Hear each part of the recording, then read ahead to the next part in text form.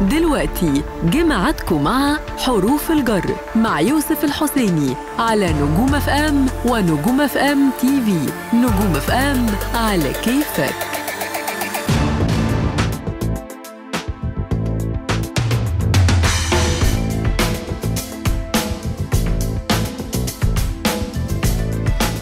أهلا بيكم معانا وحلقة جديدة من برنامجنا حروف الجر على نجوم FM. هو النهارده الاروح عند اتنين يعني النهارده آخر حلقة في الأسبوع عشان إحنا من الحد الأربع بس من الساعة 10 لحد الساعة 12 بعد الفطار أو بالليل. ما أقدرش أقول 12 مساء لأنها ما تنفعش مساء هي صباحا المفروض.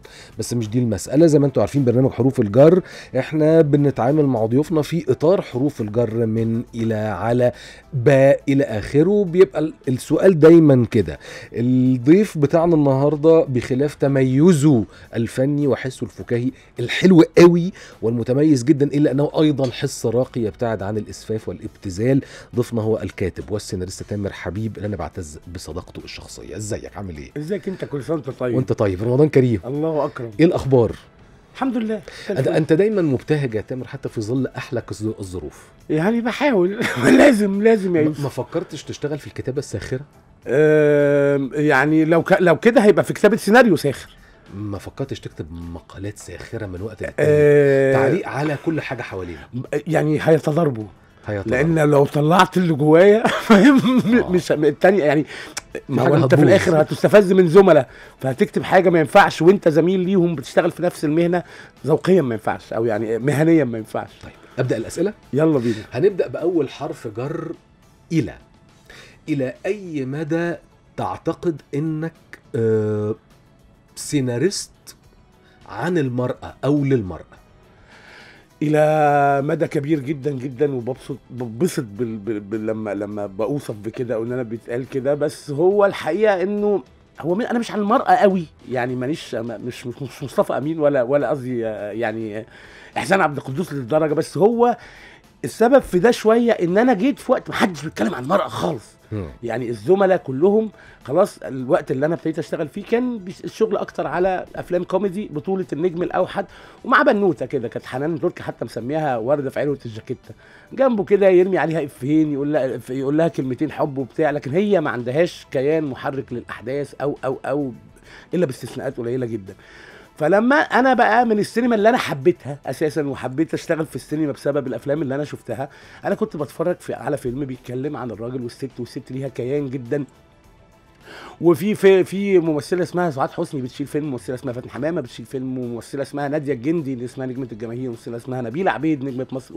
فالست ليها كيان وليها دور ومحرك للأحداث وكده وفي الآخر أنا ال- السينما اللي بحبها هتكلم عن مجتمع في المجتمع يعني راجل وست والست دي ليها تأثير كبير.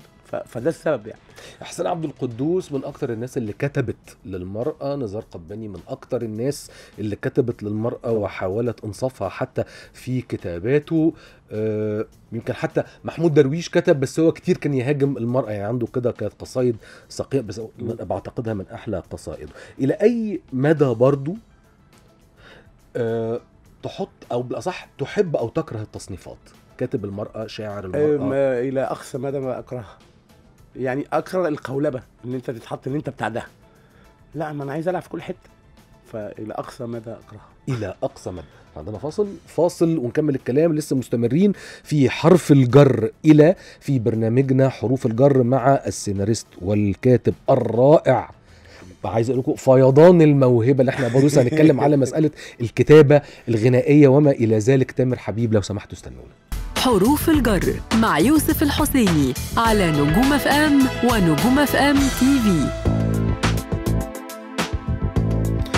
طيب خلوني أجدد الترحيب مرة تانية بالرجل غني عن التعريف بالقطع. تامر حبيب الكاتب والسيناريست أو فيضان من الموهبة. ده بجد والله العظيم مش مجاملة ده حقيقي و... ولا أستطيع أدعي إن أنا يعني قريب قوي من تامر يعني خالص. بس أنا من الناس اللي بتقعد تتابع كويس ولما بقابله في المرات المتناثرة البعيدة عن بعضها البعض باللغة العربية تكتشف دايما مش بس خلقه وأخلاقه ولطفه لكن تكتشف إن هو عنده جوانب كتير ما بتظهرش كفاية للأسف الشديد. فهرجع على. مسألة لا والله دي إيه، حقيقة أنا والله دي. حقيقة دي حقيقة. خالص خالص ما تكسبش اطلاقا. إزاي يعني ورش السيناريو ظهرت من فترة وفي ناس تحبها وفي ناس ما تحبهاش. إلى أي مدى تامر حبيب مقتنع بورش السيناريو؟ وإلى أي مدى بينفذ مسألة ورش السيناريو؟ إلى مدى كبير مقتنع بيها لما اشتغلتها. يعني أنا كنت من الناس اللي مش مقتنعين بيها وما كنتش عارف بتتعمل إزاي قبل ما أشتغل أنا نفسي في ورش أو إن أنا أعمل ورش. وبعدين لما أنا عملت الورشة آه اكتشفت إنه لأ حصلت حاجة إيجابية جدا جدا من أول عملت الورشة بالطريقة اللي أنا عملت بيها ورشتي. لأنه ما هو يعني عشان كده أنا ضد فكرة في ناس بتحبها وناس بتكرهها ما هي مش بامية. يعني قصدي إن نعم. هي كل كل شيخ وليه طريقة أو هي أو الشكل السليم للورشة. لما بيتعمل بشكل مدروس وفني وصحي بيطلع منه عمل كويس. لكن لما آه، أشكال بيدعوا إنها أشكال دي, دي ورشة وتلاقي مثلا سمك لبن تمر هندي ومفيش مثلا حد هيد رايتر هو اللي ينسق كل الحاجات فيبقى الروح مش واحدة في العمل الواحد بناء على إن كذا حد كاتبين. أكيد ده مش شكل ناجح. بس أنا لما لما اشتغلت وفكرت الشكل الأمثل للورشة اللي أنا هعرف أشتغل جواها وهي ماشي بت- بتاخد بشكل عام وجهة النظر أو بتقرأ وبتاخد فكرة من الكتب وأشكال الورش اللي اتعمل بشكل محترف بره مصر يعني. ف وبعدين انت بتقرر بتعمل انت توليفتك بقى بتعمل مم. ورشتك اللي هي لايقة مع روحك وروح ان انت تشتغل معاهم وحاجات كده. فلما أنا عملت ورشتي بالشكل اللي أنا لقيته لطيف وظريف وكان صحي اتسبب في ان خرج للنور ثلاث مسلسلات الحمد لله رب العالمين. آه الناس نجحوا آه جماهيريا وفنيا اللي هم كانوا يعني دول نتاج ورش آه طريقي وجراند أوتيل ولا تطفئ الشمس. فالحمد لله بما إن رأيي فيهم كان إيجابي وأنا الحقيقة كنت مستمتع جدا بالشغل فيهم وفخور إن أنا اسمي محطوط على المسلسلات دي وفخور بزمايلي اللي كانوا معايا في الورشة. فده معناه إن دي حاجة إيجابية وصحية. ولما يخرج من الورشة دي كتاب جداد آه وإحنا بنقول إن مشكلة دايما خلاص بقى كليشيه وكلمة بتتقال المشكلة في الورق أصل ما فيش ورق أصل بتاع فيطلع من الورشة دي بنتين جداد يشتغلوا هم يعملوا عملين ناجحين جدا جدا جدا. فدي حاجة إيجابية تانية. فعشان كده بقول لك إلى أقصى مدى أنا مبسوط بموضوع الورشه ده. إلى أي مدى تلتفت للمقارنات خصوصا بما إن إحنا جبنا سيرة لا تطفئ الشمس فيلم السينما لا تطفئ الشمس ثم تامر حبيب عمل لا تطفئ الشمس. طبعا ده بخلاف الرواية اللي مكتوبة أصلا أستاذ حسين إلى أي مدى تلتفت للمقارنة؟ أه بقرأ كل الحاجات وفي حاجات بتستفزني لأن مخي رافضها وأنا آسف إن إن إن شوية يعني بشوف إن ال- اللي عمل المقارنة دي يعني أنا من الأول خالص قايل يا جماعة أرجوكم ما تقارنوناش بالفيلم إحنا بنعمل الرواية. يعني وحتى كل أدباء الكون ال- اللي, اللي كتبوا روايات واتعمل لهم سيناريوهات دايما كانوا بيقولوا ما تقارنوش رواياتنا بالأفلام وكذلك السيناريستات بس يعني في الآخر آه، أنا بنقل الرواية ما بنقلش الفيلم. فلما يطلع حد يدي مقارنات مش حاطط في دماغه غير الفيلم ومش قاري الرواية ويقول إن أنا أنت جبت منين بقى فزلكة؟ اللي هي موجودة في الرواية. فالمشكلة عنده. فاهمني؟ ولما يقول لك بقى شكري سرحان فأنت بتعمل مقارنة بين ممثل وممثل أرجوك ما تعملش مقارنة بالفيلم. طب ما تتكلم عن مواصفات الشخصية اللي في الرواية. هل هي مناسبة ولا لأ؟ إن ده يبقى محمد مم. ممدوح أو إن ده يبقى أحمد مالك أو أو أو. ف... ف... ف... فالمقارنات ال- اللي هي ال- ال- ال- اللي, اللي مدروسة شوية اللي متفكر فيها بحبها جدا. ولو حد حتى مختلف هحترم اختلافه. لكن حد أنا آسف أقول عن جهل بيعمل مقارنة وأنا المفروض ويشتمني وأنا أقعد كده لا أنا حضرتك بس طب ما اعمل شغلك الأول كده وتعالى ننزل الملعب يعني. إلى أي مدى تلتفت للشتيمة؟ مش هقول لك للنقد الشتيمة لأنه ده حاجة وده حاجة. أه بستفز جدا وبحاول أبقى دبلوماسي وأعتبر إني ما سمعتش حاجة عشان ما أعملش قيمة للي شتمني إن أنا أرد عليه. على ذكر أحمد مالك إلى أي مدى تصنف موهبة أحمد مالك؟ من أكتر المواهب الشابة إن لم يكن أكتر ممثل شاب موجود في مصر النهارده في جيله ده. أخرج عن حيادي يقول لك أيوه صح. مش كده. مش كده؟ مية مية. طيب إحنا فاصل ولا لسه مكملين؟ نعرف نكمل؟ طب نعرف نكمل ده كويس جدا. ساعات كتير تامر يظهر في مشاهد لمحات خاطفة في شغله كده حاجة بتفكرني ساعات بألفريد هيتشكوك لما كان يروح طالع في الفيلم هوب في السريع على سبيل المثال. آه واللي دايما ننسى اسمه وابني دايما يقعد يفكرني باسمه بس دلوقتي لسه ناسيه. آه مارفل كان اسمه إيه اللي اسس مارفل؟ مات الله يرحمه راجل عظيم. أحيانا كان يروح طالع برضه في الأفلام بتاعت مارفل كده بيشرب قهوة حاجة بياكل ساندوتش ويختفي. إلى أي مدى يحب تامر الظهور لمحة خاطفة داخل فيلم؟ أه ولا مرة من اللي في شغلي أنا ظهرت فيها كانت مقصودة أو متخطط لها. يعني يعني آه، وبالعكس أنا يعني أنا لا ما بنفيش خالص إن أنا بحب التمثيل وما أعرفش أنا بعرف أمثل كويس ولا لأ بس أنا بحب لعبة التمثيل وبتعامل معاها لأنه لعبة. ف ولما حد بيطلبني في شغل مش بتاعي بروح جدا لو الدور حلو وبتاع وأنا حابب أروح ألعب بروح.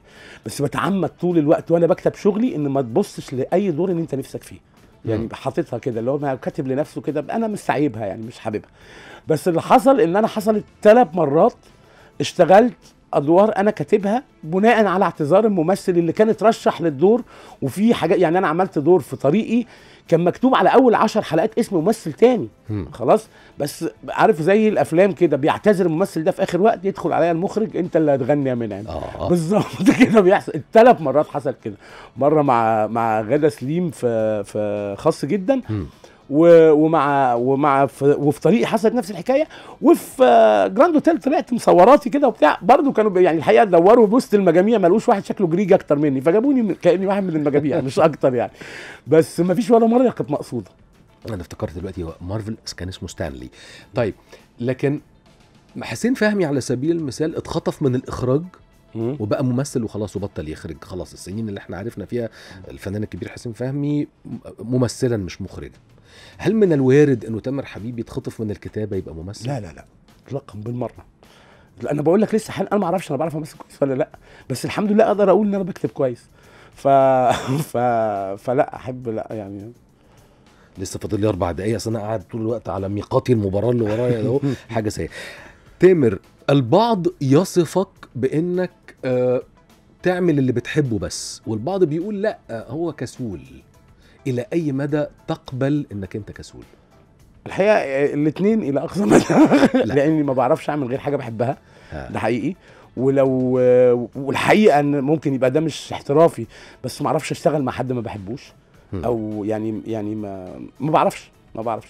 وحاجة تانية مش- أنا مش كسول أنا لعبي يعني في اللعب أنا مش كسول خالص بس أنا بلعب أكتر ما بشتغل بكتير.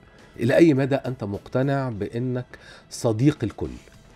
الحمد لله. يعني أنا مبسوط يعني أنا بقصد ده إن أنا إن أنا ليه بقى يعني صديقي اللي أعرفهم اللي قريب منهم اللي مش عايز اصادقهم بنزل التندة ما يخصنيش خالص في حياتي.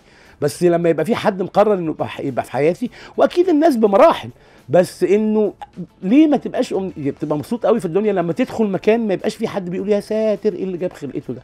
يعني ده محتاج تبذل فيه مجهود وأنا بحب إنه يبقى حاصل. في ساعات كده يقولوا صديق الكل لا صديق له. مش حد مقرب بشكل حقيقي. لا عندي طبعا. لا عندي عندي يعني شوية شخوص مقربين جدا. بس بقول لك أنا مش عايز أبقى عدو لحد. لكن في عندي طبعا الناس القريبة ولسه بقول لك اهو بدرجات يعني العلاقات درجات. أم إلى أي مدى تعتقد إنك ليك عدو؟ يكرهك. أه والله بص الحمد لله ما شفتش حد بيكرهني. يعني يعني عدو بيكرهني أو يقف ضدك أو مش عايزك يقف إن أنت مثلا تحقق حاجة ما شفتوش. ولو موجود يا رب ما أشوفه. ما تعرفوش حد. لا يا رب ما أعرفه. لسه ما اتخبطتش فيه لحد دلوقتي. الحمد لله. نشكر ربنا. في ناس تقول إنه كانت مخاطرة إنه شيرين شيرين عبد الوهاب تبقى هي نجمة المسلسل طريقي لأنه شيرين صوت رائع جميل. بس تجربة التمثيل ما نقدرش نحكم عليها قوي. إلى أي مدى تعتقد إنك أنت خاطرت وإلى أي مدى تعتقد إن التجربة ناجحة أو غير ناجحة؟ أم، ع- ع- يعني أعتبر إن أنا خاطرت إلى مدى كبير لأن شيرين نفسها كانت رافضة تمثل تاني. يعني هي نفسها كانت عندها تجربة واحدة تمثيلية ومش حابة تكررها تاني. بس أنا أنا حياتي ماتش قمار. يعني المخاطرة دي بالنسبة لي دي حاجة جذابة وما بحبش الاختيار اللي هو إيه حاطط قد- أنا ما بحبش أي حاجة بروطه كده قدامك. ما طب ما تبذل مجهود كده وتلعب يعني. ما تيجي نجرب. يعني. بالظبط كده. وبالذات بالذات إنه بجد الشخصية كانت شبه شيرين جدا. الشخصية الدرامية هي شبه شيرين جدا جدا. ولو مش شيرين هيبقى صعب يبقى أي حد تاني. وبالذات إن أنا كنت عارف وأنا بشتغل إن المسلسل مش مش دليلة بس مش الشخص الشخصية اللي بتلعبها شيرين بس. لأ في شخصيات تانية كتير قوي كلهم ليهم ثقل وليهم دور وليهم آه، تأثير في الدراما بتعمل المسلسل أشبه بإنه مسلسل جماعي. يعني مش هي شايلة مش رأفت الهجان. فاهمة؟ فاهمني؟ ف... ف... فكان كل الحاجات دي مع بعضها وكنت مرتاح قوي إن معايا مخرج بجد. هو هو مخرج بيعرف يتعامل مع ممثل لأن دول قليلين. هو بيحب الممثل و acting coach زي ما بيقولوا شاطر قوي محمد شاكر خضير. فكل الحاجات دي كانت مطمنة من ناحية وال risk فيه حاجة جذابة. أمال ليه الناس بتحب القمار؟ يعني فاهمني؟ تبقى إلى أي مدى تتدخل في اختيار الممثلين بتوع شغلك بتوع ورقك؟ أه ب... مش إلى مدى كبير بتناقش أنا والمخرج والرأي النهائي للمخرج. أنا مؤمن بذلك جدا وما أظنش إن عمرنا اختلفنا أنا ومخرج. كل الشغل اللي أنا عملته. لأن في الآخر إحنا الاتنين مصلحتنا واحدة وبنتفكر لأنه في الآخر أنا ما يعني ما عنديش بنت خالتي عايزة تروح تمثل ولا ابن عمتي هو اللي لايق على الدور ده. في الآخر أنا بفكر مين الممثل الافضل والمخرج كمان بيفكر مين الممثل الافضل فبناء على ذلك إحنا الاثنين عمرنا ما اختلفنا. أس أسمع إنه الناس وهي بتكتب بتبقى متخيلة ممثل ما يعني. ف وده هيبقى سؤالي إلى أي مدى أنت بتتخيل ممثلين بحد ذاتهم في الدور اللي أنت بتكتبه دلوقتي؟ آه، بتحصل أحيانا في حاجات وأحيانا لأ خالص. يعني مثلا في سهر الليالي أنا ما كنتش شايف حد غير حنان تركي يلعب دور حنان تركي. كنت شايفها من أول لحظة ما كنتش شايف السبعة التانيين خالص. بس في الدور ده أنا عايز في حنان. الدور ده من الأول أنا حاسس دي حنان. آه، في في طريقي في محمد ممدوح وسوسن بدر ومحمد عادل كنت شايفهم إن هم دول عيلة دليلة دي دي أمها ودول إخواتها. من الأول كده خالص اتكلمنا. فيها أنا ومحمد شاكر يعني. آه وفي ساعات ببقى عارف مين الممثل. يعني يعني يعني ساعات أنا عارف إن أنا بكتب مسلسل يسرا فأنا عارف إن دي يسرا عارف إن يعني بما إن السقا هو صاحب فكرة تيمور وشفيقة فأنا عارف ومن الأول خالص قلنا هو ومنى فكنت عارف إن ده هو وده منى دي منى. فيعني حسب بس أنا بفضل إنه ما بقاش شايف الشخصية ولو هي نطت جات لك كده فبتحاول بقدر الإمكان لا نجيب ده لأن ده أكيد ده ليه أمارة يعني. طيب قبل ما أطلع الفاصل إلى أي مدى تقيم الخمس سنين أو الست سنين الأخر لحنان ترك؟ أه لأن إحنا كنا قريبين من بعض وأصحاب قوي كمان كانت يمكن مرحلة لخبطة كبيرة قوي في حياتها يعني هي كانت كان عندها match ping pong شغال جوه جدا و و و وكان بيأثر عليها. أحيانا ايجابا إن الحيرة دي والألم نفسي معين أحيانا بيطلع حاجة كويسة من الممثل واحيانا مخها بيبقى في حتة تانية خالص فبتحس إن هي لأ لو كانت ركزت في ده كانت هتعمله احسن الخسائر أكتر ولا المكاسب؟ في آخر خمس سنين هو دلوقتي بالنسبة أنا شايف إن إحنا عندنا خسارة كبيرة إن مفيش حنان ترك مم. خلاص؟ دي بالنسبة لي خسارة كبيرة إنها صح. من الممثلات بجد صحيح. ال- ال- اللي مهمين في جيلهم واللي كانوا هيبقوا أهم لو كانت كملت يعني. أه بس لأن أنا صاحبها وبتاع وبشكل شخصي لو هو ده الوضع اللي مريحها أكتر فخلاص. يعني ربنا يسعدها فاهم؟ بس شايف إنها في الفترة الأخيرة لا عملت كام حاجة مهمه وكام حاجة كان ينفع يبقوا أهم. أنا بقى مركز على الحته اللي كان ينفع يبقوا أهم أنا متفق معاك جدا في إنه حنان ترك كان ممكن تبقى أقوى حد موجود. على كل نطلع فاصل ونرجع بعد الفاصل نكمل في حروف الجر. هل هنكمل في إلى ولا ننتقل لفي على حسب. خلونا نشوف بعد الفاصل. مع حروف الجر مع يوسف الحسيني على نجوم FM ونجوم FM TV لسه معاكم في برنامجنا حروف الجر ولا زلت أجدد سعادتي وبالقطع ترحيبي بضيفنا العزيز الكاتب والسيناريست تامر حبيب. وهنكمل في حروف الجر ولكن إحنا ممكن لسه نكمل في حرف الجر إلى. أه كان في مرة اتكلمت على مسألة أه عدم دخولك لمعهد السينما وقلت الواسطة كانت السبب لدرجة إن أنا فكرت في الانتحار. إلى أي مدى تعتبر إنه دي كانت حالة ضعف شديد من تامر حبيب؟ إلى برضو اجان إلى أقصى مدى. طبعا كنت في منتهى ضعفي بس عارف اللي هو أنت خلصت الضعف كله عشان تصحى الصبح تبتدي القوة من جديد. فهو ده بالظبط اللي كان حاصل وأنا دي من المحطات اللي, بحبها في حياتي لأن كان فيها كان فيها لعبة قدرية وكان فيها تاني بقول لك أنا معتبر إن أنا عندي ماتشات قمار مهمة في حياتي فده كان أكبر ماتش قمار في الدنيا لأن أنا لما وصلت بيا درجة ال ال الانهيار لأن أنا استسلمت لمدة يعني يعني أنا كنت عايز أدخل معهد سينما فورا بعد ثانوية عامة ما دخلتش عشان ما كانش في واسطة فاستسلمت إن أنا دخلت كلية تجارة قعدت فيها خمس سنين عشان سقطت سنة عشان ما بحبهاش واشتغلت يعني قعدت ثمان سنين مستسلم. فاخر الاستسلام ده بقى هو ليلة التفكير في الانتحار دي إنه ما هو خلاص أنت هتعيش عمرك كله تعيس بتعمل حاجة ما بتحبهاش واللي أنت حاببها مش طايلها. فده شيء مرفوض في الحياة يعني ما أقدرش أعيش كده يعني ما ينفعش. ودي حاجة مصيرية ده عمرك ده انت. مش مثلا عروسة مشيت هتيجي عروسة تانية مش مش عارف ما كنت مسافر الكويت لا هروح السعودية. لا ده, ده حياتك. فاختلفت واتقلبت 180 درجة. أنا عمري ما هنسى المشوار اللي أنا رايح فيه شغلي. كانت لحظة بجد بتاعتي أنا وربنا. كانت مني ليه كده؟ وأنا متأكد إن باب السماء كان مفتوح. وكنت بكلمه صاحبي يعني يعني قلت له بص بقى فعلا كده. وبصوت يعني كنت سايق العربية لوحدي ورايح شغلي قلت له بص بقى ما هو يا تجيب لي اللي بحبه يا تحببني في اللي بعمله بس دي آخر محطة. أنا هسلم لك نفسي. فاعمل فيها اللي أنت عايزه. خلاص؟ ورحت وصلت شغلي. كانش في موبايلات أيامها. كلمت واحد صاحبي قلت له روح معهد السينما اسأل آخر ميعاد للتقديم إمتى و... وآخر سن قانوني مع واحد معاه مؤهل قد إيه وعايزين إيه الجماعة دول يعني عشان لو واحد عايز يدخل المعهد كنت صاحب آخر كل حاجة آخر سن آخر ظرف سحب ميعاد. للبتاع آخر يوم للتقديم آخر آخر اسم في الكشف. كان كل يوم بيتحط كشف كده في أسامي اللي يجوا بكرة والباقي ما يجيش. فدايما أنا آخر اسم في الكشف. لغاية الكشف النهائي كنت أول قسم أول اسم مكتوب في قسم السيناريو. فهي سيما كده كانت لحظة سينمائية جدا. وهو كمل الإجابة بقى كده بعد كده. من أول ما دخلت المعهد ابتدى يتشاور عليا إن الراجل ده مش بطال ابدا. أول ما دخلت المعهد اشتغلت في السينما ومثلت في فيلم قشر البندق مع مخرج كبير اسمه خيري بشارة. مشروع تخرجي كان hit يعني خلاص اللي هو قال لي لا لا تعالى تعالى خليك تعمل اللي بتحبه. ومن ساعتها الحمد لله. في بقى ups and downs بس إيه جوه الإطار اللي أنت قادر تعيش جواه من غير انتحار. بقى. طيب اذا عملت اللي بتحبه في النهاية وهنا أقدر أنتقل إلى حرف الجر في. في أي محطة تعتقد إنك وصلت في مشوارك أو في حلمك؟ أه بص مش عايز أحس إن أنا وصلت في ولا محطة لغاية ما أموت. لأن لأنه لازم دايما أبقى باصص للدور اللي فوق. يعني لو مش عايز أطول السقف عايز أطول السما. فأفضل مش طايلها مش طايلها علشان متعتك ما تقلش. يعني يعني لو انت خلاص بقيت رئيس مجلس إدارة الحاجات كلها طب أنا هقعد أعمل إيه بعد كده؟ يعني عارف حتى ممكن تلاقيني حتى دايما بكتبها في حواري كده. أحلى يوم في حياتي لسه ما عشتوش. ما أنا لو عشته يبقى أموت. هقعد كده مفيش حاجة حلوة تاني. أحلى منها جاية بايخة. فعلشان كده لا عايز أفضل حاسس إني ما وصلتش وعندي طموح لحاجة أعلى. طيب ننتقل وإحنا لسه في حرف فيه لسؤال آخر متعلق دايما بال- بالجونة اللي أنا عارف إنك بتحبها. حب هستيري. في رأيك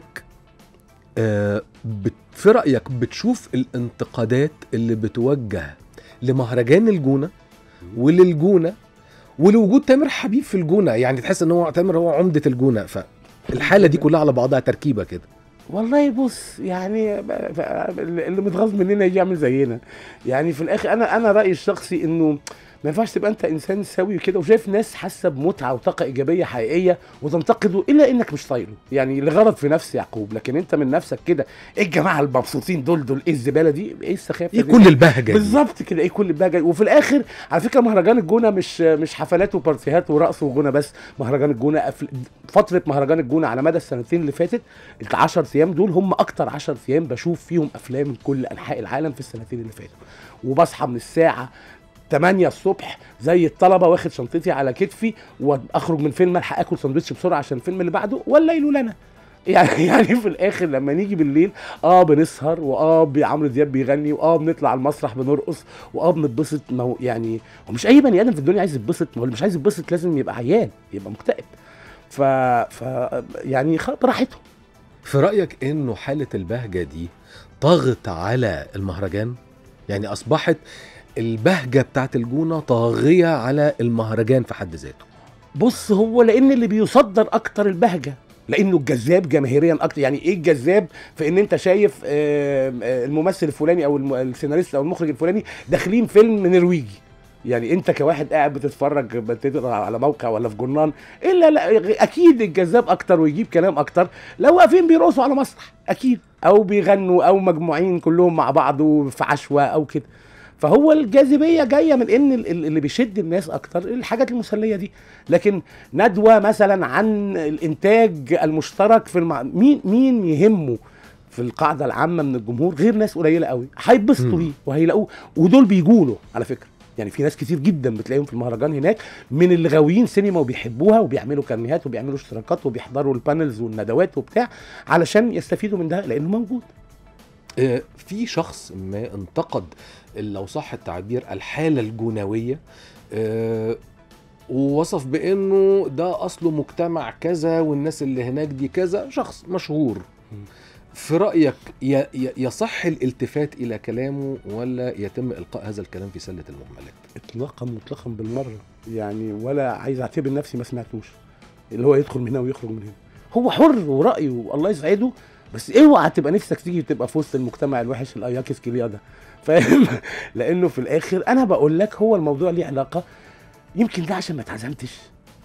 الله أعلم فاهم؟ فماشي كل واحد حر. بكرة يشتري بيت هناك يعني اخر ما- ماشي. آخر منجها طيب أخيرا في حرف الجر آه، فيه في أي قالب تضع تجربة آه، السبكي سبكيين آه، انتاجيا؟ الحالة السينمائية بتاعت السبكي. بص أنا الحقيقة إنه أنا دايما وده موجود على مستوى العالم كله ولما كان عندنا حالة صحية لإنتاج سينمائي في مصر كان في لما كنا بنعمل 80 و100 فيلم في السنة في جميع انماط المنتجين وجميع أنواع الأفلام بتتعمل. فبشكل عام آه، في جانب إيجابي جدا في وقت السينما مرت فيه بأزمة كبيرة قوي بدءا من سنة 2011 يمكن لغاية صح. النهارده. المنتجين الوحيدين اللي اللي كانوا بيشتغلوا وبيعملوا أفلام بفلوسهم كانوا هم السبكيين. فتحوا. بيوت ومشوا الصناعة بالظبط وبقى لما تعوز تدخل فيلم في السينما بتلاقي هو المنتج لأن المنتجين اللي هم أباطرة الحاجات قاعدين. في البيت آه ما- عملوش حتى ما وقفوش جنبها في أزمتها السينما يعني. ف...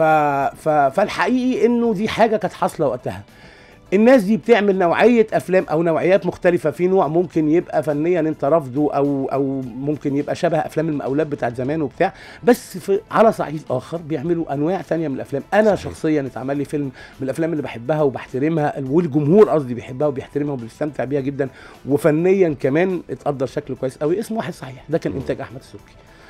فما تقدرش تاخد برضو إيه كده بال... بال... بالشوال يعني هو مش لط يعني. وفي الآخر الناس دي كانت بتشتغل. و... وبعدين مين قال إن الناس دي لو كانت ما لقيتش إقبال رهيب جماهيري كانوا هيفضلوا يقدموا الم... المنتج اللي مرفوض فنيا أو أو الناس بتبص له من فوق. ما هو في الآخر الزبون برضه يعني ما هو لو قرفان قوي كده بتدخل تجيب الملايين الكتيرة دي قوي إزاي في الفيلم؟ فاهمني؟ ف... ف... يعني لو اعتبروها جريمة فهم شركاء فيها. هم قدموا كل الأنواع يعني بالظبط في بالظبط. طيب يمكن قبل ما هروح للفاصل أنا يعني عارف إنه في project أو في شغل ما بيتم إن شاء الله مع أحمد السبكي ففي لغط ودوشة حاصلة خلال اليومين اللي فاتوا. مهم بس عندي إن أنا أطمن. أنا الراجل ده أنا بحبه. وأنا كمان جدا. يعني أنا بحب جداً. أحمد السبكي مع حفظ اللقب ومحمد السبكي بحب كريم. وأنا- حتى لو أنا مختلف وأنا- في أمور لكن أنا بحب الثلاثه لا أنا أنا أنا أنا دو- يعني family بالنسبة لي كده العيلة دي كلها أنا دايما أقول حتى لعم أحمد أنا أنت خالي. يعني عارف اللي هو خالك ال ال الشعبي ال- الجهجهوني كده اللي عن- عندنا علاقة عاطفية وصداقة خاص خاصة لطيفة. جدا كده. جدا يعني. بقى الأخبار اللي فاتت يعني أنا مش عارف قوي ما عنديش حاجة أقولها بالظبط لأن أنا بقرأ الأخبار زي ما بتنزل لي. على ال على ال بتجيلي على التليفون كل شوية. يا رب يكون الدنيا يعني وضعها كويس لأن أنا اللي أنا قاريه إن في حاجة ليها علاقة بشيك بدون رصيد ومش عارف إيه، تعاملات مادية. والحقيقة إن أنا شخصيا لأني تعاملت مع الراجل ده لسه بقول لك وعملت فيلم وبتعامل التعامل المادي التاني وفي بيني وبينه اتفاق على فيلم ثالث عمري ما كان عندي مشكلة في التعامل المادي بيني وبين هذا الرجل ولا عمري ما ما خدت شيك لقيته ملوش رصيد ولا عمر ما بالع... لما بطلب فلوس بيقول لي تعالى خدها في الوقت الفلاني. مد... التعامل المادي بيني وبين أحمد السبكي من من سنة من السنة اللي اشتغلنا فيها وف- وفي النص كان في أفلام كنا هنعملها وعطلت فقصدي إن إحنا تعامل مادي ما توقفش من أيام واحد صحيح لغاية النهارده عمر ما كان في أزمة في التعامل المادي بيني وبين هذا الرجل ربنا يا رب يفك أزمته يا رب. رب يا رب.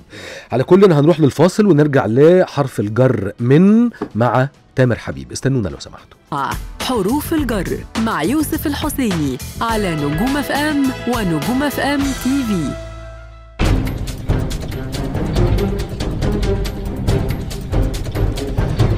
في مناقشة كانت حاصلة كده على فيلم بوهيميان رابسودي بس هنناقشها بعدين لو لسه عندنا وقت. بس خلوني أنتقل إلى حرف الجر من في حلقتنا حروف الجر مع الكاتب الكبير سيناريست تامر حبيب. آه هيبقى حرف من لكن هيبقى أكمل الجملة. من هؤلاء هتقول لي أسامي أكثر من وقف بجانبي. أستاذ داوود عبد السيد يا عيني يا بختك. واستاذ وحيد حامد. هايل. أستاذ داوود آه، لولا أستاذ داوود عبد السيد يمكن ما كانش هيبقى فيه سهر الليالي اللي هو الفيلم الأول لي ولزميلي وصديقي هاني خليفة. لأنه أنا كتبت الفيلم ده في فترة كنت م... أو هو س- مبدئيا هو سبب إن أنا كتبته. يعني لأنه أنا كنت محبط كان عندي مشروعين قبلها وخلاص داخلين نصور وبيتوقفوا الاثنين لأسباب إنتاجية ويتوقفوا إلى الأبد.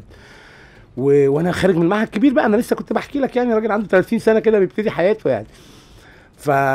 فابتديت أحبط كده. وبعدين إيه هو أستاذ داوود حصل إن أنا عرفته ويعني شرفت بإن هو اعتبرني صديق بشكل ما فكنت بروح وأقعد معاه. والراجل ده القعاب معاه متعة بنت لذينة. يعني يعني يمكن دايما إحنا ما حضرناش فكرة الصالون الأدبي. أو إن أنت الراجل ده صالون. هو لوحده صالون كده. ف... فكنت فكان الكلام بيجيب بعضه فبقول له أنا محبط بقى يا أستاذ داوود وفيلمين يبقوا خلاص هيتعملوا وما يتعملوش وبتاع. فأنا بقى إيه شكلها بقى إيه مش جاية. قال لي أنت عارف أول فيلم ليا الصعاليك ده هو السيناريو رقم كام اللي أنا كاتبه في حياتي؟ فقلت له كام؟ قال لي 10 في قبله تسعة في الدرج ما خرجوش للنور فحسيت إن أنا دبانة. فاهم؟ لما داوود عبد السيد اللي هو لما بسمع له جملة حوار بتثبت. آه. يبقى قاعد يعمل المحاوله في 10 سيناريوهات أو تسعة والعشره لفقوا لفق. وأنا جاي أقول له اتنين وأنا يعني لا مؤاخذة ما يصحش يعني. ف...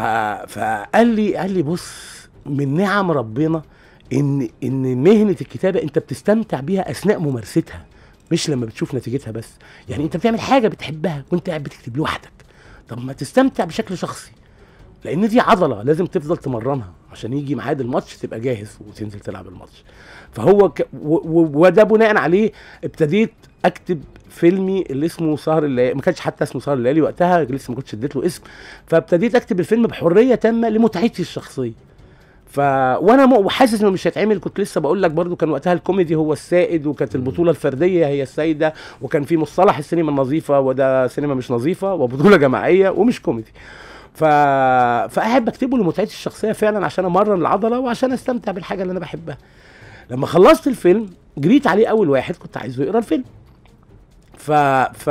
فلما قرأ الفيلم هو اللي أصر إنه لأ أنت مش مجرد إنك كتبت فيلم الفيلم ده هيخرج للنور. وهو اللي سعى كان وقتها هو بيسعى في الشركة العربية إنه بيعمل فيلم ومواطن ومخبر وحرامي وسعى إن هو ودى الفيلم للشركة هناك الأستاذ حسين القلة والمدام إسعاد يونس و- وهو هو الأول فيلم هو السبب إنه لأ أنتوا هتعملوا فيلمكم. يعني وأنا من الأول خالص كنت عايز هاني وهاني كان حابب الفيلم جدا فخلاص يعني هو مسؤول فضل فعلا شايل على عاتقه إنه هيعمل الفيلم ده وفعلا هو كان ورا ده. فطبعا دي وقفة عمري ما أنساها ابدا. من أي منطلق تتعامل مع مصطلح السينما النظيفة؟ آه، في رأيي أنا يعني أنا عن- يعني ما فيش مصطلح اسمه سينما نظيفة بس لو قلت على حاجة سينما نظيفة يعني الفيلم الحلو. يعني الفيلم اللي بيحترمني كجمهور. إنما سينما نظيفة على اعتبار إن ما فيهوش آه، قبلة مين قال إن القبله مش نظيفة؟ يعني أنا عايز أفهم يعني. مين قال إن إحنا كلنا ما اتعلمناش البوس من أفلام حلوة بطولة فنانين؟ هم رموز السينما النهارده وأهم من أهم سفرة والناس ناسية السفرة وناسية الوزراء وناسية البتوع دول بس عمرهم ما هينسوا النجوم دول. اتعلمنا المشاعر الحلوة والحب الحلو والعلاقات الحلوة وإن إحنا نفهم ونحلل ويبقى عندنا خبرة في حياتنا. من اللي بنقراه واللي بنتفرج عليه. فكان كان مصطلح آه، سخيف جدا المقصود بيه وقتها وطول الوقت كنت رافضه طبعا. من فين طلع المصطلح؟ أنا رأيي الشخصي إنه طلع مع انتشار الأفلام الكوميدية بس اللي موجودة. فبالتالي أكيد أكيد أنت كجمهور أنا مش عايز أدخل أتفرج على الكوميديان وهو بيعمل لفظين وهو بيعمل مشهد حب أو بيحب يعني بكل الحب والتقدير والإحترام مش عايز أدخل ألاقي الكوميديان الفلاني بيبوس مش هحب. يعني يعني ولان هم اللي كانوا موجودين فبالتالي بيقدموا نوعية أفلام ما فيهاش آه، جرأة شوية أو كلام في مشاعر أو في حاجة بجد بين الراجل والست. فراح طالع المصطلح ده لأن ما كانش فيه غيره يعني. طيب هنكمل في حرف الجر من لكن بعد الفاصل. مع حروف الجر مع يوسف الحسيني على نجوم FM ونجوم FM TV. لسه معاكم في برنامجنا حروف الجر على نجوم FM. مواطن اسمه يوسف الحسيني ضيفنا العزيز الكاتب والسيناريست الكبير الرائع تامر حبيب. ولسه في حرف الجر من. من دول بين قوسين هنفتحهم. خذلوني أه بحس إن أنا ملزق قوي لو قلت لك مش فاكر أو مفيش يعني بجد بحياة هي حالة رحمة تصالح؟ أمي ما فاكر يعني يمكن إن أنا مرزق إن ما حدش لسه خذلني يعني. يعني, في يعني في وقت من الأوقات في لحظة معينة كده مثلا منى شلبي اللي هي صديقة عمري وأختي وبنتي وضنايا وأمي وكل حاجة خذلتني في وقت معين كده ورجعنا اتصالحنا ودلوقتي وتراجعت واعتذرت عن اللي خذلتني فيه وصلحت غلطتها مين تاني؟ آم، لا والله العظيم ما فاكر حد. يعني أنا أنا سا يعني أحب أوجب والله لو كنت لقيت كنت أقول بس مش فاكر حد. طيب. آه سمعنا قرينا حاجات متناثرة في فيلم بيتكتب عن عمرو دياب. وبعد كده مفيش حاجة طلعت. هو مش عن عمرو دياب هو بيتكتب لا عمرو دياب. لا عمرو دياب. يعني هو اللي حصل كان مشروع المفروض اتفقنا عليه طارق العريان جه قال لي تعالى أنا عايز أعمل فيلم لعمرو وأنا نفسي أشتغل مع طارق من زمان جدا. حلو. وبحب الراجل اللي اسمه عمرو دياب ده جدا جدا جدا. و... وعايز أعمل ميوزيكال يعني من ال... من الأفلام المحببة إلى قلبي إن أنا أعمل أفلام فيها غنى واستعراضات وكده. فيلا بينا. وابتدينا نشتغل وفي وسط ما إحنا بنشتغل على مشروع معين جات لنا فكرة لمشروع تاني فابتدينا غيرنا المشروع. كلها أفلام كانت. اتحركنا بين ثلاث أفلام لغاية ما استقرينا على الفيلم النهائي وابتديت فعلا أشتغل عليه. في الفترة دي والدتي توفت فالله يرحمها. فخدت لي وقت إيه قطع مية ونور يعني بتاع ثلاث شهور مثلا. مم. يعني كنت في حتة مش كويسة ابدا. وابتديت أرجع تاني للحياة. لما رجعت كان كل حد عنده حاجة ارتباط معين راح يعمله. كانت دينا عندها مسلسل لرمضان وكان عمرو بيعمل ألبومه الجديد وكان طارق بيعمل بيحضر لفيلمه الجديد. فالمشروع نام. هيصحى ولا مش هيصحى ما أعرفش. بس ما فيش حد فينا مش عايز يعمله. مم. يعني عمرو لسه عايز يعمل فيلم دينا الشربين لسه عايز تعمل فيلم طارق العريان لسه عايز يعمل فيلم وأنا كمان لسه عايز أعمل فيلم. تعال ننتقل لحرف الجر على. آه على أي أساس تقيم ما بين مزدوجين كده تجربة محمد رمضان أه بص أنا حضرت محمد رمضان يمكن في أول حاجة في الدنيا هو كان بيعملها كنا بنعمل مسلسل اسمه السندريلا عن قصة حياة سعاد حسني. كان بطولة منى زكي وكنت أنا بلعب دور صلاح جاهين في المسلسل مم. ده في الحياة في يعني في الحياة الحقيقية صلاح جاهين هو اللي اكتشف أحمد زكي. ف آه، كنت يوم آه، بصور مشهد موت صلاح جاهين في مستشفى وخلصت أنا اوردري تصويري خلاص وهم لسه عندهم ليل فقالوا لي تعالى علشان نوري لك الولد اللي عامل اللي جايبينه يعمل دور أحمد زكي خلاص فاكر فيلم موعد على العشاء طبعا فاكر مشهد تل... التلاجة اللي, سعاد حسني بتتعرف فيه على الجثة بتاعت أحمد زكي. وبتقعد تقول له شكري شكري عاملة مشهد من أعظم ما يكون. كده وهو جوه التلاجة فهم كانوا بيصوروا المشهد ده بيصوروا تصوير المشهد ده. فأنا داخل على المنطقة اللي فيها تلاجه الميتين في المستشفى ومقبوض طبعا شوية لأن المكان مش عاطفي ابدا. ببص على يميني كده لقيت بسم الله الرحمن الرحيم. أحمد زكي الله يرحمه فعلا أيام مدرسة المشاغبين مثلا أو حتى في. الفترة اللي قبلها. هو وعريان لابس شورت بس كده لأنه كان داخل التلاجة. وخايف ومرعوب لأنه داخل التلاجة. فانا أنا الوهلة عارف جزء من السنة إيه ده بقى؟ خير اللهم اجعله خير. وابتدينا لأن كان عندي مشاهد كتيره جدا معاه فابتدينا نعرف بعض ونتكلم وعرفت الراجل ده مشواره شقي فيه قد إيه وتعب فيه قد إيه وكان عنده اوبسيشن مرضي بأحمد زكي كنا أنا فاكر كنا نقعد مثلا مستنيين لما ندخل نصور ممكن لمدة ثلاث ساعات هو بيقلد لك أحمد زكي في كل حاجة في الدنيا عملها في البيت. بواب في زوجة رجل المهم في الحفلة اللي اتعملت له الأخيرة بت... اللي هو كل لحظة وأنتم طيبين آه. في كل حاجة هو عنده يعني ملبوس أحمد زكي وكان بروميسنج جدا وعنده حاجة وبتاع وما أعرفش إيه وكده. شفته بعد كده في الفيلم بتاع يسري نصر الله مع مع منى زكي بتاع أستاذ وحيد احكي يا شهرزاد. آه عامل دور حلو جدا جدا جدا. وبعدين حصلت مرحلة النجومية بقى النجم محمد رمضان. مم. آه، أنا بالنسبة لي حصل اختلاف معين كده. يعني يعني يعني إيه الراجل ال- ال- اللي بقى في- في حتة النجومية دي هو مش نفس الراجل اللي أنا عرفته في الحبة اللي اشتغلنا فيهم مع بعض وبتاع. حصل حاجة. يعني إيه؟ لا حسيت إن لا في حاجز بيني الراجل بيني وبين الراجل ده ومش عايز أكسره. لما بنتقابل لطيف وظريف وفي شدة الأدب والاحترام اللي في الدنيا. بس هو حصل حاجة أنا الحقيقة بشوف دايما إنه في في في حد عنده استعداد نفسي لنج- النجومية بتهبل. يعني. النجومية فعلا بت- بتهوس أكيد. يعني ففي حد عنده استعداد نفسي إنه يدخل المرحلة دي وطبيعي بيبقى في مرحلة انعدام وزن وبعدين يتظبط ويمشي زي الفل وفي حد ما عندوش الاستعداد النفسي ده ف... فأنا إحساسي إن محمد رمضان هو في مرحلة الاستيعاب لسه بس لسه حالة عدم توازن آه، لحد ما آه، يوزن آه. نفسه. بس في الآخر الراجل ده عنده ممثل كويس آه عنده ممثل كويس طبعا آه أنا بكل الاحترام والتقدير أنا بس أنا this is not my cup of tea زي ما بيقولوا. نوع الحاجات اللي هو ال ال ال الأعمال اللي هو بيعملها أنا مش زبونها. بس يعني مش ذوقي. لكن في الآخر عنده يعني من أكون أنا وسط كل هؤلاء الملايين يعني. طيب خليني أنتقل لحرف الباء من ضمن حروف الجر. بأي صفة أو بأي شكل أو بأي تلك الأوصاف توصف حال السينما في مصر دلوقتي؟ ليه كده؟ دخلوا كمانجا بقى. دخلوا كمانجا حزينة كده؟ خلفية. ب... بعافية. بعافية. آه، لا يعني يعني في حاجة مش لطيفة كده و يعني طبيعي. بس يعني يعني هي ياما مرت ياما السينما المصرية مرت بحالات انعدام وزن كده وبترجع تقف تاني يعني. فاحنا في حتة انعدام وزن كده. بأي تقييم تعتقد المستقبل بتاع ما بعد انعدام الوزن؟ يعني تقول بعد. كتير بعد شوية قليلة أو مش باين لها على الأقل في خلال 10 15 سنة. أه لا بيتهيألي إنه إنه يعني أتمنى إنه يبقى بعد مثلا إيه قدامنا مثلا سنتين عجاف يعني يعني أنا متفائل جدا وأنا بقول لك. كده. يعني أتمنى إن هم يبقوا سنة. يلا نتفائل أكتر. يعني إحنا في أيام مفترجة برضه. فأتمنى إن هي تبقى سنة كده لغاية ما ترجع تاني تتوزن يعني.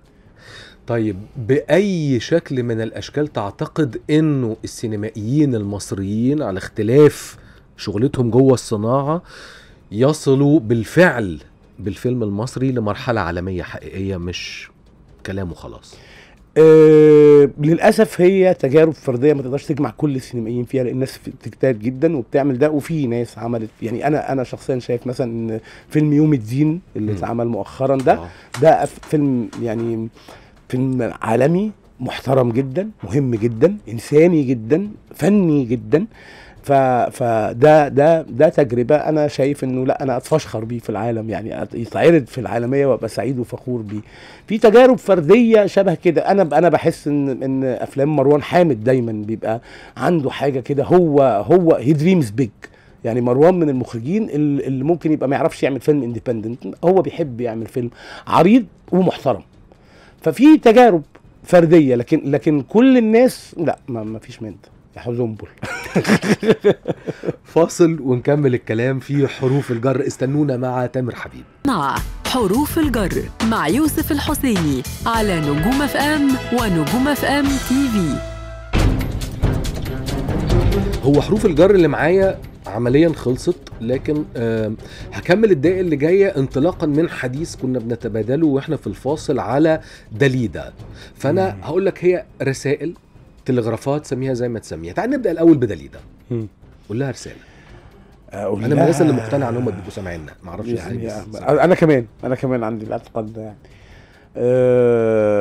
أقول لها يعني انت لما لما صوت لأن صوتك أنا كبرت عليه من ساعة ما كنت بركب العربية جنب أهلي أو جنب أمي تحديدا وأسمعك بتغني بالفرنساوي فاروح حتة كده ولسه كنت بقول لك إن أنا شفت الست دي زمان وأنا صغير في مصر كانت أحلى من دلوقتي شوية كانت. بتغني في نادي الجزيرة وأنا عامل زي الزئرت كده وقاعد بتفرج على هذا الكائن المرعب وبعدين لما عرفت الدراما في حياتها العظيمة اللي هي كانت ست عايشة حياة هي كانت شخصية اكتئابيه جدا جدا. يعني.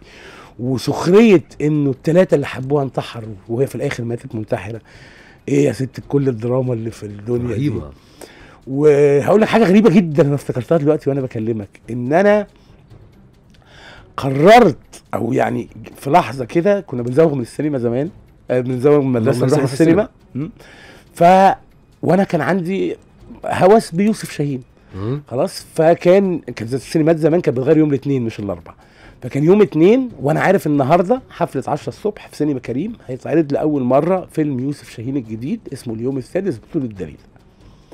ودخلت ودخلت في سينما كريم اتنين كانت سينما صغيرة قد الأوضة كان هو دي. واخدها وقتها يوسف كان هو واخدها يوسف شاهين وقتها. كانت سينما قد الأوضة دي تقريبا كانت آه. سينما صغنونة يعني. فقعدت بتفرج كده و... و... وهي بتتكلم بالعربي مكسر وأنا شاري. يعني أنا ممكن اسمع لك الفيلم ده كلمة كلمة دلوقتي أنا حافظه من كتر ما شفته. بس أنا شاري أنا قاعد قدام داليدا ومسحور بهذه السيدة اللي كانت كبرت وكانت مش لابسة جلابية سوداء طول الفيلم من غير ميك اب وبتاع. بس هي عندها تشارم كده ابن لذينة يعني. ولغايه ما في لحظة معينة في مشهد اللي بتروح ليوسف لمحسن محي الدين السطوح تقول له عايزة تسافر فبيرقص لها ويعمل لها الاستعراض تحت النطرة وبعدين يبقى جين كيلي كده وبالعصاية بتاع. في لحظة وهو بيتشعب حركه خطرة. بالظبط كده. بيتشعبط بالحبل كده ويطير حوالين مدخنة. أنا وأنا بتفرج راحت روحي اتسحبت كده. وفي اللحظة دي يا يوسف أنا فاكر كويس قوي لقيت روحي بقول لنفسي أنا عايز أعمل في الناس كده. اللي هو قرار إن أنا عايز أبقى في السينما. أنا عايز أعمل في الناس الشباب اللي اتعمل فيها دلوقتي حالا كده. عايز روحك تتسحب وتبقى عايز على تنط تيجي. عندي أنا. يعني تبقى عايز تنط جوه الشاشة دي. فدي يمكن من أوائل المرات اللي أنا فيها بقيت لا أنا بحب أنا أنا مكاني هنا. أنا مكاني في الحتة دي في الشغلانة دي. ف و... و... وانت كنت لسه بتقول نفسك تعمل حاجة عن دليده يعني لو وأنا عملت كمان عندي نفس الحلم. هعمل فيلم دليده أول حاجة في حياتي. أنا كمان عندي نفس الحلم. نفسي أعمل أعمل قصة حياة داليدا فيلم. مش مسلسل كمان فيلم. آه سينما. ما اتعمل فيلم فرنساوي حلو قوي بس ينفع بس still يبقى في فيلم حلو منه. بس زي ما أنت كنت لسه بتقول. ما حدش ينفع يعمل محدش في. مصر هيعرف يعمل ما. حدش. آه يعني لازم. هنلاقي حاجة جديدة كده يعني. إحنا نتكلم حفظي. بالظبط كده. آه والله ممكن يتحمس ونقعد نعمل جدا. اجتماع عظيم ونقرر إن إحنا نعمل fundraising عشان نعرف نعمل فيلم. يليق بداليدا ده. حقيقي. إنه حاجة زي كده كان يجي 25 مليون دولار ولا حاجة. آه آه لا لا ست إحنا عظيمه لو نفضونا مش هنطلع 25 مليون دولار مش عارف هنعمل فيها إيه. طيب على ذكر محسن محي الدين. تحب توجه رسالة لمحسن محي الدين؟ أقول طبعا. آه، أقول له آه، أنت كنت بالنسبة لي بتشكل منتهى البهجة. في مرحلة بدء عشقي للسينما. أنا كان في رأيي ده اللي عنده كل الأدوات الممكنة إنه يبقى الفنان العالمي محسن. محي الدين ده حقيقي. خسارة الفترة اللي ولغاية. النهارده لغاية النهارده أفلام محسن محي الدين مع يوسف شاهين دي لما بتيجي أنا بيحصل لي كده برجع نفس العيل الصغير اللي عنده شغف فظيع باللي بيتفرج عليه. عمل أربعة أظن كان ولا ثلاثة عمل كان اليوم اسكندرية السادس ليه؟ وعمل اسكندرية واليوم ليه؟ وعمل وداع بونابرت. وعمل جزء دور يعني مشهد مشهدين يعني قصدي دور صغير في حدوته مصرية عمل نور الشريف وهو صغير. هو صغير. صح.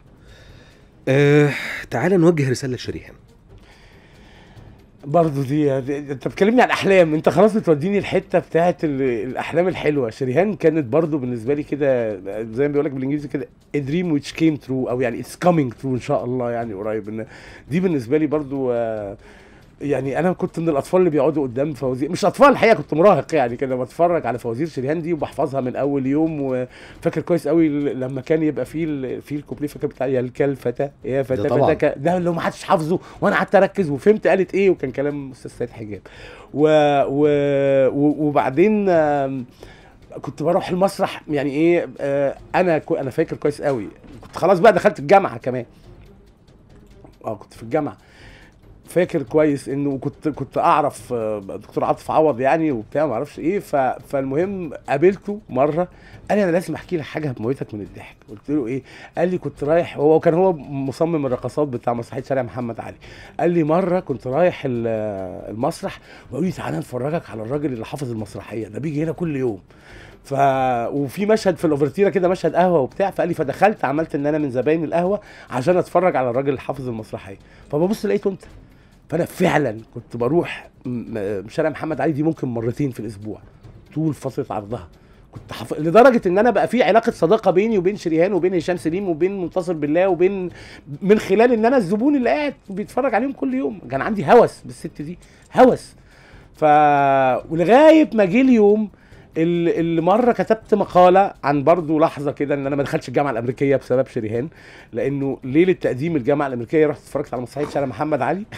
والمسرحية خلصت خلاص الساعة ف- 2 وقلت أروح أنام. وبعدين لقيت طاقة كده الطاقة دي طلعت شباك أوضة شريهان خلاص وكانت هي هي وأستاذ محمود الجندي الله يرحمه وجالهم أستاذ فاروق الفيشاوي.